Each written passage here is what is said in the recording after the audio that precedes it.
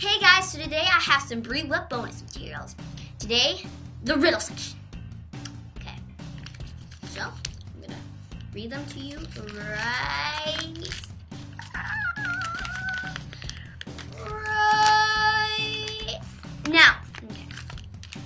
What goes around the world but stays in a corner? Riddle number two. What gets wetter and wetter the more it dries? Riddle number three.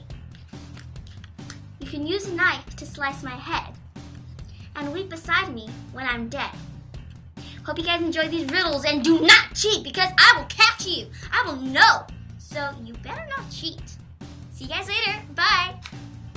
Today's topic movies.